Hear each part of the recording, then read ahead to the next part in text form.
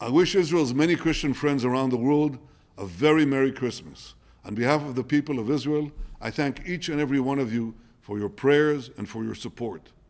This Christmas, the traditional greeting of peace on earth will once again be expressed by millions across the globe. This while our world suffers from the terrible COVID 19 pandemic and far from too much violence and conflict. But remarkably, here in the Middle East, we've been actively making progress in realizing the biblical prophecy of peace on earth, or at least this part of the earth.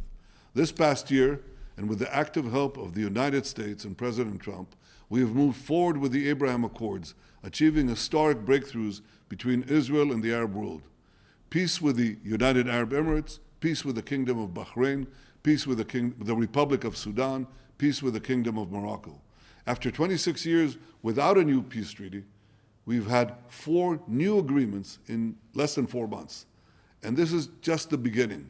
More and more Arab countries are rethinking traditional hostile attitudes towards Israel and are seeking reconciliation with the Jewish state.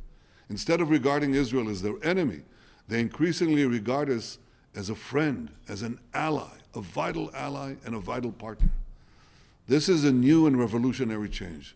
It will make a better life, a better place for all the peoples of the Middle East. It will make for a better world. And so this Christmas, when you pray for Israel and you pray for peace, know that your prayers are really being answered. Peace on earth. Merry Christmas.